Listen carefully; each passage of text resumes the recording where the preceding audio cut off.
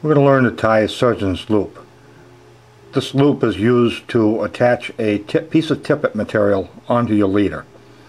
Uh, it's not a pretty knot by any means, but when I'm changing my tippet, I want to change it quickly. I want a fast knot that's going to work, and because I want to get a fly back in the water fast. So we're going to tie surgeon's loop now. The red piece being my tippet material, the green will be my leader. I'm going to hold the lines, give myself about five or six inches of line and hold them in this manner here. So they're side by side, heading in opposite directions. I'm just going to do an overhand loop. So I just got those looped, just like that. I'm going to take the butt end of my leader, the yellow, and the whole red, my tippet, my whole tippet, I'm going to go through that loop twice.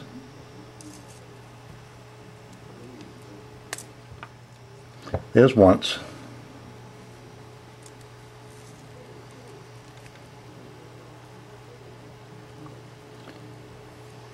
And there's twice. I have something like that. I'm going to pull all four equally. Till I get to a sex point where I'm, I'm about like that. And I'm going to wet these. Now I'm going to pull just the long ends. And that's my surgeon's loop. Said, it's not a pretty knot, but what it is is fast and it's easy to tie. And it does the trick.